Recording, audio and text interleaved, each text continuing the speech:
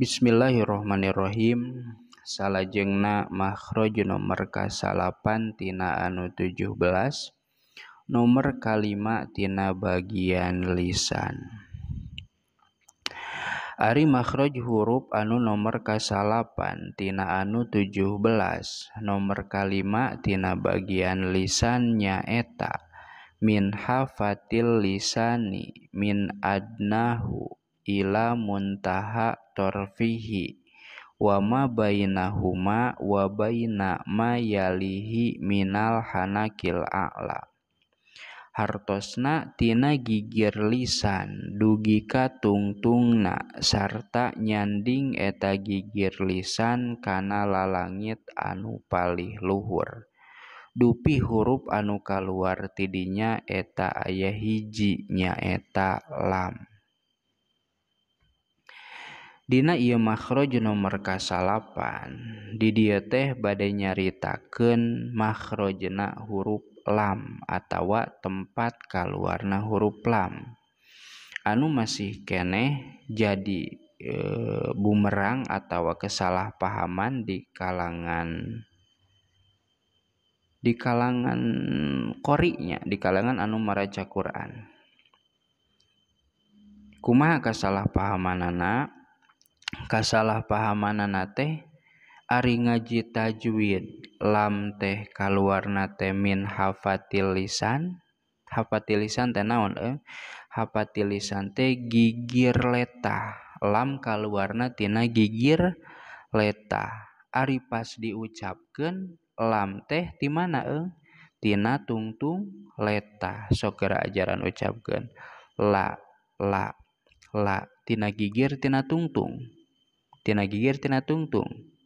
Hmm, gitu gitu. Kalau loba anana masih keneh ngucapkan lam teh tina tungtung letah. Padahal lamun ningali kana makhrajna lam teh jelas min hafatil lisani gitu. Tina gigir letah nepi ka tungtungna sarta nyanding eta gigir letah teh kana lalangit anu luhur. Ha berarti ngucapkeun lam teh gigir letah. La la. La lain la tapi la gitu. Lain la tapi la gitunya.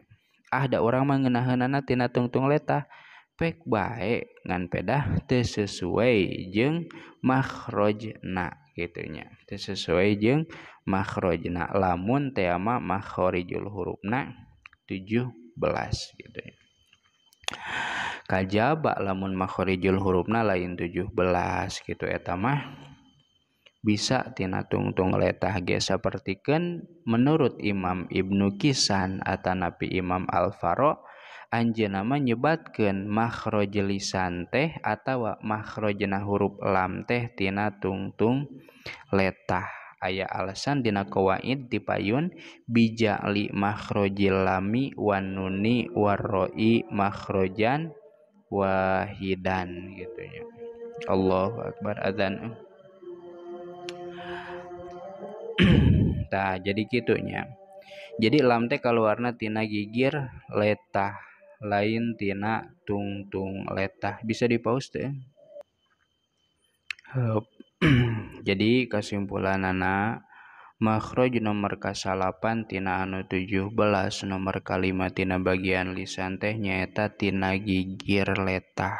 Gitu gigir letah diantalkan karena wabai nama yalihi minal hanakil ala diantalkan karena e, lalangit luhur tapi belah gigir tang tunanya la la gitunya.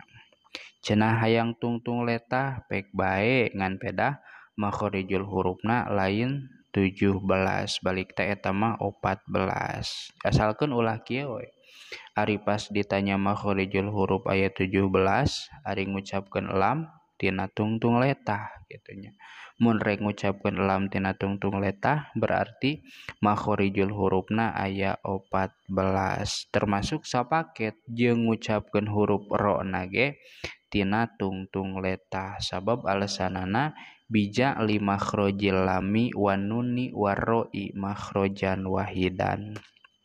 Ulah dipilihan ulah sawareh sawareh tapi kudu sapaket lamun makhrojana 17 berarti lam kaluarnatina gigir leta engke dipayun nun kaluarnatina tungtung letah engke dipayuna deui ero kaluarnatina tonggong letah alias tungtung ngala kana tonggong.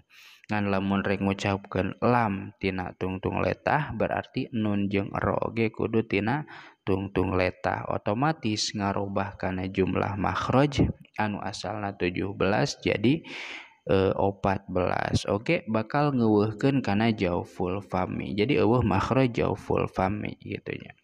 Titik. Karena cek koidah. Koidahna nyambung ti luhur tina huruf dotnya al adrosa min aisaro au yumnaha walamu adna halimun tahaha antal kana gugusi kenca katuhu lama makhrajna tungtung lisan sanes puhu gitunya lam tungtung lisan sanes puhu. Padahal mahnya walamu adna halimun teh gigir letah ngala katungtung gitu. Lain berarti tungtung letah gitu. Lain berarti tungtung letah tapi gigir letah ngala katungtung gitu. Jangan di dia mah pada madaratna dome gitu. Bahasa teh anu jelas non? Anu ringkes.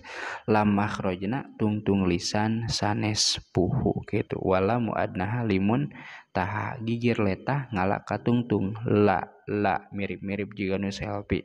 La tak beres nomor ke 8 kantun salajengna makhraj nomor ke 10 tina anu 17 nomor kagenep tina bagian lisan. Cekap heulanya. Wallahu alam bisawab